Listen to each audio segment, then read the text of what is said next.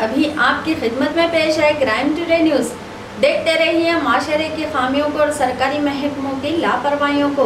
उजागर किया जा रहा है। मैं Zara Sheikh crime today news गैर कानूनी तामीरात पर जीएचएमसी का बुलडोजर चलना शुरू हो चुका है। ऐसा ही वाक़ वाकया गच्चीबौली की होटल शागौस के किचन का देखने को मिला, जो बिल्कुल नाले से जुड़ा हुआ था, जिसको जीएचएमसी के आला अहदेदारों ने तोड़ दिया। मोहम्मद अतीक के साथ मैं Shahbaz Ali crime today news Hyderabad.